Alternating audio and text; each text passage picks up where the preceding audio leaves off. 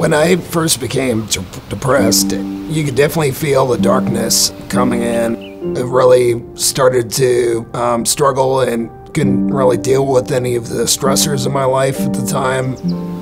I've really started thinking about suicide more often, and that increased to the point of wanting to um, plan out a suicide attempt.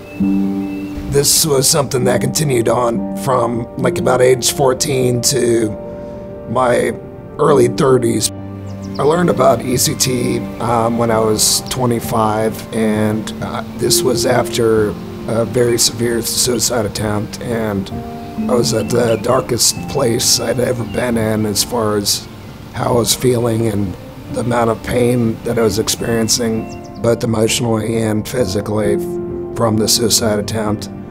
And when I hit that low place, I um, was presented with the option of getting electroconvulsive therapy, and I decided to follow through with trying that because um, nothing else really worked.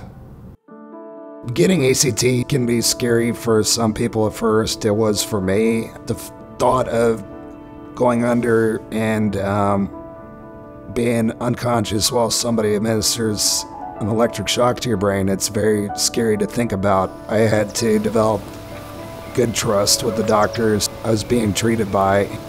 I was somebody that responded very well. It was really kind of like a drastic improvement, and I started to um, feel better about myself, like build up some self-esteem that that was missing before. I started to challenge the negative thoughts that were coming up and reframing them, and it was something that I really felt like I wished I could have had sooner in my life. Getting ECT treatments turned things around a lot more than any of the other medical treatments that I was getting for it, and um, the fact that I was able to feel free of depression felt so much better than what I was going through. Feel like I'm confident and um, making a difference. Just carry on with my life.